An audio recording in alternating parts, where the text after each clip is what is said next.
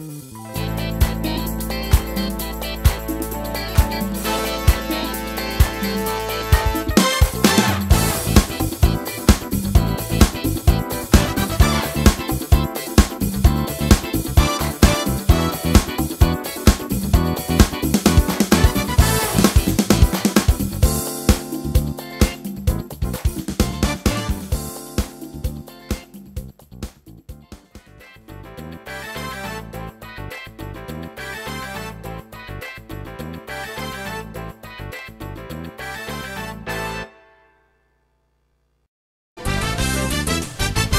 Hallo und recht herzlich willkommen zu einem weiteren Video hier Neues von Pascal, ein Video auf meinem Kanal. In diesem Video geht es wieder mal um diesen iMac oder iMac, wie man auch so sagt. Ich weiß, ich sage immer iMac, aber eigentlich ist es iMac. Ihr mögt euch vielleicht erinnern, dass dann habe ich vor einigen Wochen mal Video, ein Video gemacht, ein Reparaturvideo. Ich habe den ja günstig gekauft für, glaube ich, 10, 15 Franken plus etwas Versand. Äh, funktionierte nicht, ließ sich nicht einschalten, habe dann auch die Elcos auf dem Mainboard ersetzt und so weiter und verschiedene Sachen getestet. Letztendlich habe ich dann herausgefunden, dass das Netzteil kaputt war und da musste ich wohl oder übel ein Netzteil besorgen, was mir letztendlich auch gelungen ist. Ich habe dann ein bisschen recherchiert und gesucht nach einem passenden Netzteil, habe dann mit etwas Glück auch eines gefunden, habe ich zumindest gedacht in erster Linie, sieht ja plus minus auch fast gleich aus. Habe dann den Verkäufer direkt angeschrieben, er hat es mir geschickt, natürlich alles wunderbar geklappt. Bis auf ein Detail, wo ich dann erschrocken bin. Das heißt, es gibt zwei Unterschiede, aber eines ganz sicher. Äh, das ist hier der Stecker, also das ist der Anschluss für den Strom, für die Netzversorgung vom ganzen Computer. Der ist hier viel zu weit rechts. Okay, habe ich gedacht, könnte ja vielleicht trotzdem gehen, kann ja ein bisschen basteln. Nein, geht nicht. Ähm, wenn ich hier das originale Netzteil nehme, was von dem Computer war, hier ist dieser Anschluss, der Stromanschluss viel mehr links, also viel mehr mittig dem Netzteilgehäuse äh, quasi. Und das passt auch. Also das heißt, wenn man dann hier, das ist die Rückseite, der Deckel, der da drauf kommt, ähm, schaut hier dieser Anschluss, das ist ja auch vorgegeben, also das kann man nicht einfach schieben oder sonst etwas. Bei diesem Netzteil wäre dann das Loch hier könnte man theoretisch ja dann auch ein Loch bohren, war auch, auch mal eine Idee von mir ganz am Anfang, habe ich gedacht, ja, kann ja ein bisschen basteln. Habe dann wieder gesagt, es ist viel zu schade, hier etwas zu basteln, weil äh, der PC eigentlich funktioniert und so weiter. Und so ein Gerät, das ist ja länger wie mehr ist das eine Seltenheit, die gibt es nicht mehr so oft. Viele sind schon in Müll ge gewandert und so weiter, weil man da durch neuere ersetzt hat. Und dann habe ich gesagt, nein, Basteln kommt hier nicht in Frage. Ich werde mal etwas anderes probieren und muss mich dann nach einem anderen Netzteil umschauen. Das ist das eine, also der Stecker ist das eine Problem. Das andere wäre noch die Höhe. Wenn man jetzt sieht hier, das sieht viel höher aus. Das kommt ganz weit nach oben. Es ist 5 ich glaube 5 mm dicker als dieses Originale hier, also von, von der Dicke hier. Und auch da, das wäre das Problem gewesen, ich könnte den Deckel gar nicht mehr zumachen, äh, wäre so ein Schlitz ganz unten und das ist auch nicht das Ziel. Also war ich definitiv gezwungen, ein passendes Netzteil zu finden oder zu suchen und siehe da, das ist auch gelungen. Hier ist es dann, das ist dieses hier, das habe ich jetzt heute gerade erhalten per Post. Äh, habe das steigert quasi übers Internet auch wieder und das ist wirklich das genau passende für diese Serie von IMAX. G5. Das sollte dann eigentlich passen. Ich bin natürlich noch der Hoffnung, dass es dann auch funktioniert. Weiß man ja nicht. Also grundsätzlich sind die ja beide gleich alt. Also kann es durchaus sein, dass auch das hier gar nicht mehr funktioniert. Werde ich dann sehen, spätestens beim Einbau oder spätestens dann beim Testen, wenn ich den einschalten werde. Eigentlich war nur das Netzteil im Angebot, aber der Verkäufer war offensichtlich so freundlich und nett und hat gedacht, okay, der kann vielleicht auch noch anderes Zeug gebrauchen, hat er nicht falsch gedacht. Er hat mir zusätzlich noch einen halben iMac so geschickt, also wenn hier irgendwann mal etwas kaputt gehen sollte, habe ich da noch sämtliche Teile erhalten, beide Lüfter zum Beispiel. Das da ist irgendein Modul, weiß ich jetzt gar nicht. Das ist, ach doch, das ist hier die, die, die, die, das Modul für die LCD-Beleuchtung, der Monitorbeleuchtung und alles, die ganze Ansteuerung. Auch das, vielleicht wenn das mal kaputt geht, der Inverter und so weiter. Hier, das ist das Mikrofon, das ist oben beim Bildschirm eingebaut oder irgendwo. Und dann auch noch Lautsprecher. Laut, äh, ah nein, hier einmal Lüfter da.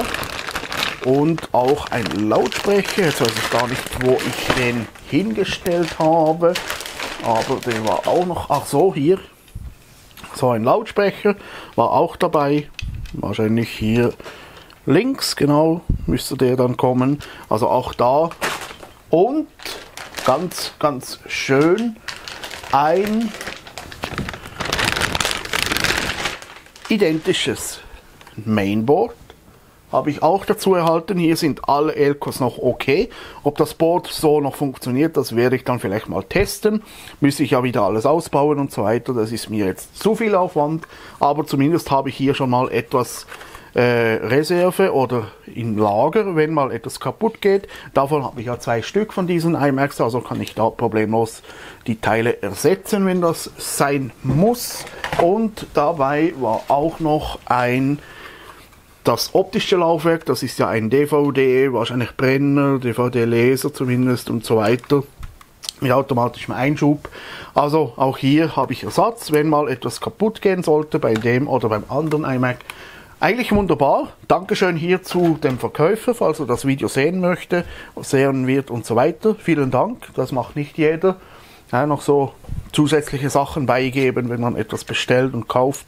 Das ist wunderbar.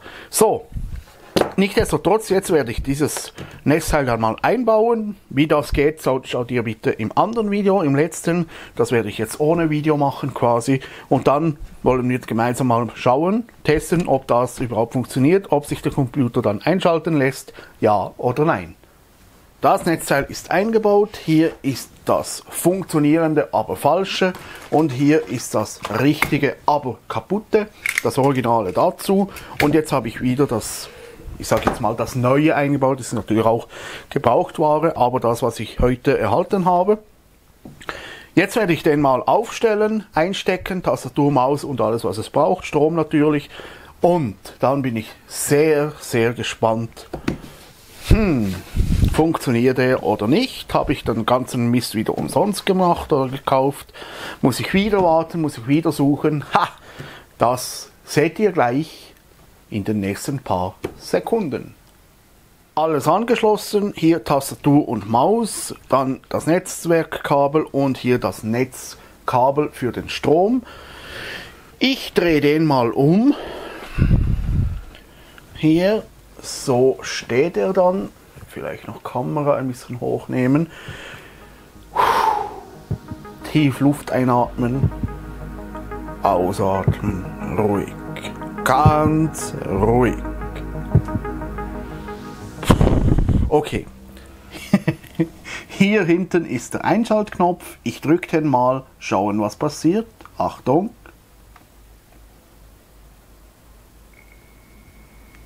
Lüfter drehen schon mal. Hier sieht man es vielleicht im Video nicht ganz, aber das LED, die Lampe leuchtet auf. Muss ich gleich einen Schluck von meinem Kaffee nehmen hier aus meiner Tasse. Neues von Pascal natürlich. Boah, ist schon kalt geworden. Lauter Aufregung habe ich noch vergessen zu saufen, zu, zu, zu trinken. Ja, Bild ist da. Bild ist da. Er scheint auch etwas zu suchen, zumindest. Er arbeitet. Das sieht schon mal besser aus als ganz am Anfang. Da war ja gar nichts. Schwarz, null.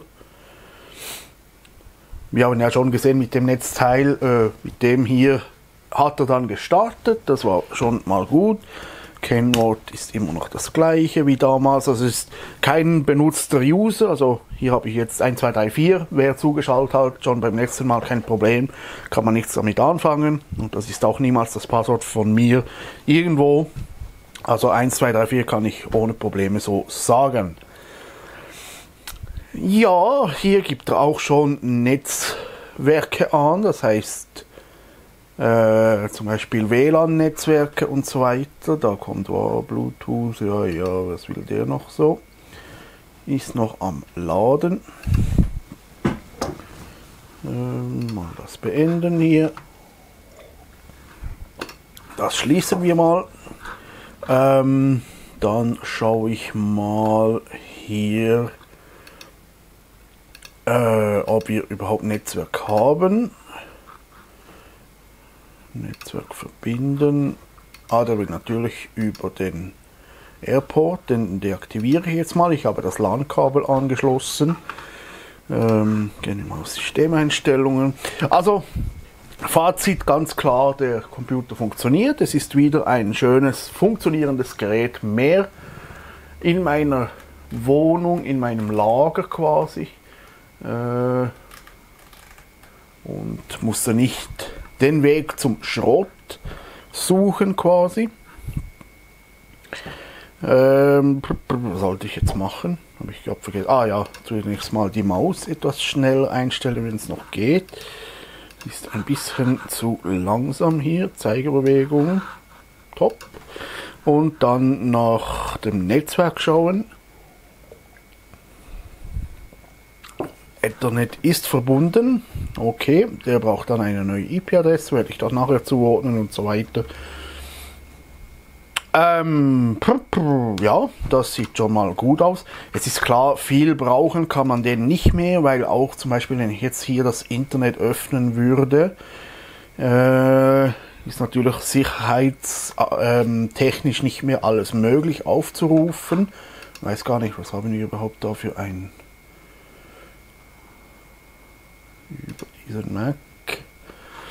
10.5.8, okay, ist nicht das älteste, aber auch nicht mehr das neueste Betriebssystem. Und dann ist natürlich das Problem, dass man keinen aktuellen Browser mehr findet. Wenn ich zum Beispiel hier suche Neues von Pascal, äh, genommen so Google, Neues von Pascal, ja, gibt mir Sachen an, das ist klar, aber irgendwann komme ich dann bestimmt nicht mehr weiter. Hier oh, ist noch Chinesisch oder irgendwie Japanisch, keine Ahnung, aber wenn man es weiß, ist das kein Problem. Also hier steht jetzt, dass der Browser nicht mehr akzeptiert wird oder so. Aber warum haben wir hier so eine komische Sprache? Ähm, mal schauen. Google CH. Ja, da ist wahrscheinlich irgendwo noch etwas eingestellt, was ich so eigentlich nicht haben möchte. Ähm, Sprache, kann ich hier irgendwo eine Sprache einstellen? Oder ist es Arabisch oder sonst etwas? Keine Ahnung ja, wie gesagt, daher müsste ich dann suchen. Ich will jetzt auch nicht zu lange das Ganze auf die Folter spannen, aber zumindest, ja, ist nicht mehr alles möglich, sage ich jetzt mal. Wenn ich zum Beispiel hier auf mein E-Mail gehe, zu, oder zumindest auf die Seite, hier gibt er mir schon an, dass irgendein Zertifikat nicht mehr stimmt. Und irgendwann, glaube ich, entweder blockiert das Ganze oder geht gar nicht mehr weiter. Hier beginnt er jetzt zu suchen und normalerweise bleibt er jetzt hier und macht nichts mehr. Ja. Okay. Safari reagiert nicht, okay, beenden das ganze Zeug und so weiter und so fort.